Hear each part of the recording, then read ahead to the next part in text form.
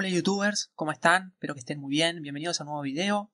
Esta vez un tanto diferente, no va a ser acerca de ningún videojuego, pero va a ser acerca de algo que es bastante importante, que es cómo aumentar la velocidad de nuestro internet sin ningún programa, sin instalar ningún programa que, con el paso del tiempo nos, termina arruinando nuestra computadora, ¿sí? porque sabemos que no es muy bueno hacer eso. Eh, bueno, quizás muchos no lo saben, pero yo se los digo que instalar programas adicionales para que nuestra computadora, nuestro procesador vaya más rápido, hace que con el paso del tiempo eh, se acorte el, periodo de vida de nuestra, de nuestra máquina, ¿sí? Porque, porque no es algo, digamos, eh, natural, por así decirlo, ¿no? Así que vamos a ver cómo aumentar la velocidad un poco, ¿sí?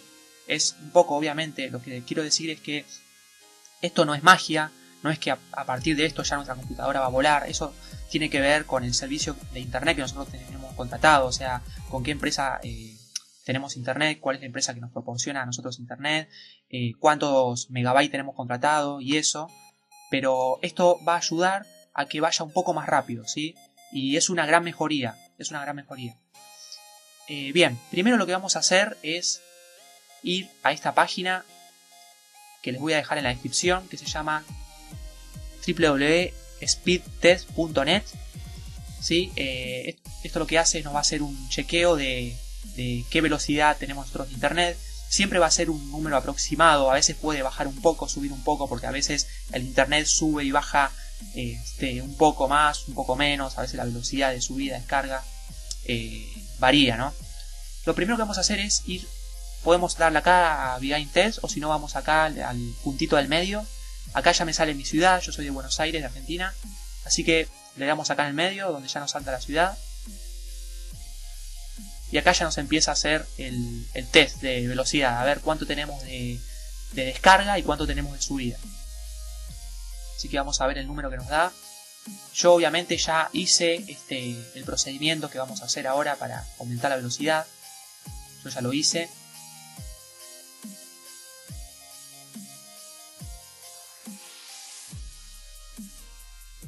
Y bueno, me dio ahora me dio bastante, parece que ahora la velocidad está bastante alta.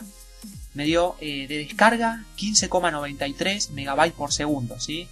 Ahora empieza el otro test de velocidad de subida, que va a ser mucho menos, obviamente, siempre la velocidad de subida es menos que la velocidad de descarga.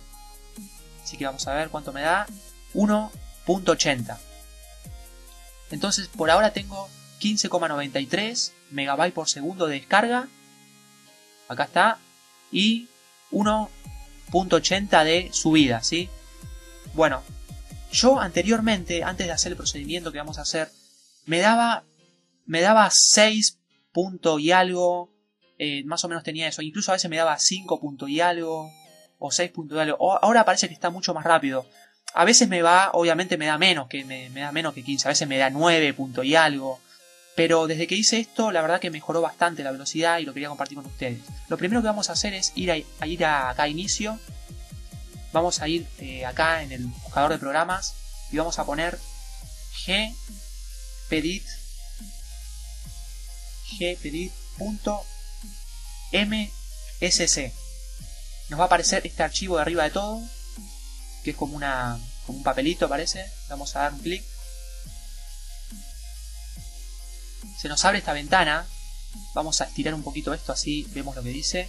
Vamos a ir a plantillas administrativas, a red, a donde dice red. Y acá vamos a ir a... A ver, vamos a estirar un poquito más. Acá, donde dice programador de paquetes QoS. Vamos a darle un clic.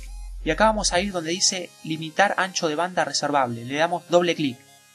Limitar ancho de banda reservable. Doble clic y nos aparece esta ventana. ¿sí? Ustedes seguramente lo van a tener en no configurado y acá les va a decir 20. Seguramente lo van a tener así, les va a decir 20. Lo que deben hacer es bajarlo a 0, ¿sí? ¿Qué es esto? Cuando se instala Windows en nuestra computadora, automáticamente se reserva un 20% del ancho de banda, ¿sí? De banda ancha.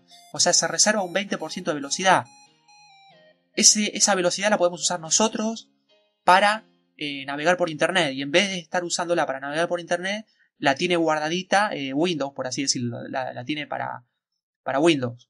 Ahora ustedes me preguntarán, pero esto es malo, eh, esto no, no, no, dañará mi computadora, no, no, me hará algo malo. No, yo ya lo hice, hace rato que lo tengo, lo tengo en cero. Aparte, vi consejos de personas que también saben de esto. Y este, la verdad que funciona, sí funciona y no daña nuestra, no va a dañar nuestra PC. Le vamos a dar en cero acá, le vamos a dar aplicar y le vamos a dar ok, ¿sí? Ahora ya tenemos ese, ese 20% que, que, yo no estaba usando ya lo tengo para mí, ¿sí? Lo tenemos para, para navegar por internet, para que sea, para que la velocidad de descarga, o sea, cuando descargamos un archivo sea un poco más rápido, para cuando subimos un archivo sea un poco más rápido. Así que ustedes de hacer esto, después de, darle OK, aplicar, de cerrar eso, van a reiniciar la PC, ¿sí? Le van a dar a reiniciar. Y después cuando inicie otra vez, van a volver a esta página, a speedtest.net, y le van a dar otra vez, eh, comenzar, digamos y les va a hacer otra vez el test y seguramente les va a dar un poco más de lo que tenían antes, ¿sí? Ahora, una cosa más, para los que tengan Windows 8.1 seguramente cuando pongan acá gpedit no les va a salir. Lo que deben hacer es descargar el archivo que les dejo en la descripción, ¿sí? Lo van a ejecutar y lo van a instalar. Una vez que ya lo instalen, se instala rápido, eh, no pesa mucho tampoco. Una vez que lo instalen, eh, le van a ir a disco C, a Windows y a la carpeta que, se llama SYSWOW64, ¿sí? Y van a copiar tres archivos de esa carpeta que son Group Policy, Group Policy Users y gpedit.msc. Esos tres archivos los van a seleccionar, los van a copiar y los van a pegar en la carpeta System32, que está en disco C, Windows System 32 y lo pegan ahí. Y listo. Y ya después de eso van a ir acá a inicio, van a poner gpedit.msc y ya les tiene que salir el eh, archivo que me salió a mí, ¿sí? Y ya eh, después pueden hacer todo el procedimiento. Así que nada más, eso se lo dejo a los de Windows 8.1 porque seguramente lo van a hacer al principio y no le va a salir. Así que eh, les dejo eso. Bueno, hasta aquí nada más este video, este tutorial. Espero que les sirva. Cualquier cosa me comentan. Y muchas gracias por ver. Denle un like si les, sirvió y nos vemos hasta la próxima. Chao.